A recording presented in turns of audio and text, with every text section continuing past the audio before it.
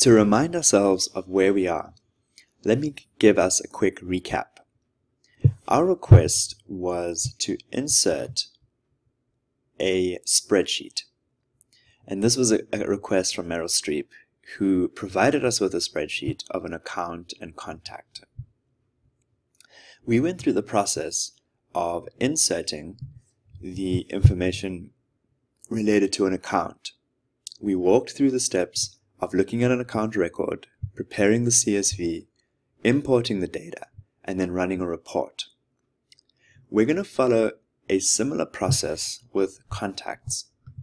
The only difference being that we are going to use reports to get something called an ID, an account ID, that we need to match the contact with. So that's the additional step. But otherwise, we go through the same process. So step one, as we know, is to look at the record. So this is our report we're going to run again in a moment. I'm going to show you exactly how we do that.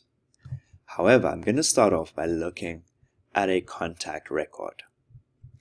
And the reason why we look at a contact record is because we want to know whether we have the correct fields, right? So I have email address and phone number. What I have here uh, is so we have the account name, I have the phone number, um, I have the email address. Okay, wonderful. Right, great. So I have my information. What I now need to do is actually create a CSV document. So what I'm going to do is go right over here and click File, New Workbook. I've opened up my, my workbook right here and we're going to copy and paste the information from here. Once we're at our workbook, we can simply copy and paste this information in. Now, a very important thing to understand is that Salesforce breaks information down. And so instead of this is the contact information for this person. However, what Salesforce uses is both the first name and the last name. So what I'm going to do is clean up my CSV. I'm going to say first name and I'm going to say last name. This will make sense in a moment. So I'm going to put in here James, Yapi, Sheila, Blessing, and Cassandra. And I'm going to make sure that these first names are extracted or removed from our document. And this is because we need to ensure that when we map our fields in Salesforce that we have the correct format that it's looking for. So here we go. We have the first name, the last name, the email address, and the phone number for these people. I'm now going to go ahead and actually save this as a CSV document. Right over here, and I'm going to call this contacts for upload to accounts and I'm going to put the date. And I'm going to click Save. What I'm now ready to do is begin to think about what else is missing from our document. And the account ID is actually what is missing, right? So we need to think about, remember we have the accounts that these people are from. So for our, as a reminder, I will actually put the account name right over here. However, the truth is that in order to, Salesforce does not recognize the name. We cannot match a contact to a name. We have to match a contact to an ID. So let me show you exactly how we go about doing that. And what we do is we run a report. So I'm going to go in back into Salesforce. I am going to go to the home page. I'm going to click create new. I'm going to click report. And what I'm looking for is an accounts report. There we go, it's right there. I click accounts, I click create. Now I'm in Salesforce. My first step is to make sure that I save this report. So I'm going to call this account upload um, document for document, right? And I'm going to put the date just in case. I'm going to save it in my custom, my personal report so no one else can see it. I'm going to save and run this report. I'm going to click customize.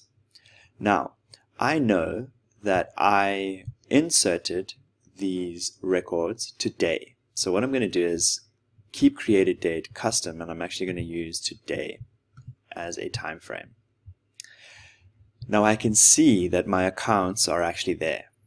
However, what's missing is what we looked for, which is the account ID. So what I'm going to do is type in here, account ID, drag this over.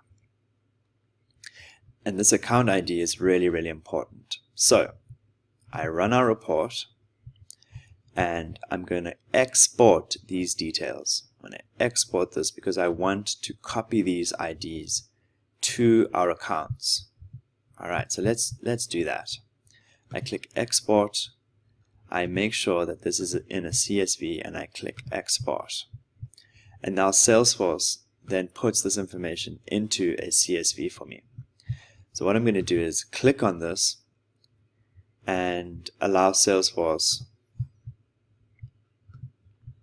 There we go. It gives me the account name, the billing address, and this important information. I don't care about this other information. I care about these two pieces. So I'm going to copy this and paste it into that CSV and then organize it. Here we are. We're in the original CSV, the contacts for uploads to accounts, right? And many of you might, might be thinking, this was a very fast process. Um, I went through that process very quickly. Here's the key thing. The most important thing for you to know is that as we go through this process, we have to think about what the contact object needs. The contact object needs to have an account. How do we get that account? we need to make sure that we extract the account ID, not the account name. In order to extract the account ID, we need to run a report. Once we run a report, we can use the import date to filter.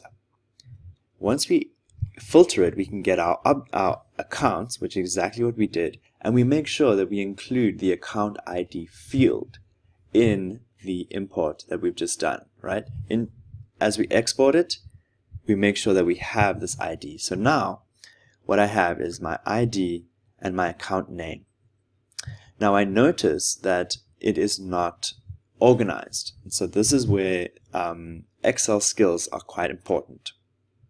What I'm going to do is sort this information first, and then I'm going to sort this piece of information here. So I click data, right? We then go to sort over here and I'm going to click custom sort. I'm going to sort by and I'm going to say account name and I'm going to click OK. That puts all of these in alphabetical order. Then I'm then going to do the same for this right here. I'm going to click sort custom sort and I'm going to put this by account name. So now what we have is AB Logistics, AIGG, JOLK, SLTD, and Universal Imports. These are all lined up. So what I'm going to do is actually copy this right here and paste it right over here. So now we have all the information we need. I'm then going to delete this column right over here. So we have the first name, the last name, the email address, the phone number, the account ID, and the account name. The most important thing for me to do right now is to save this information. Once we've saved this information, we can then begin to put it into the data wizard. uh, and that's what I'm going to do right now.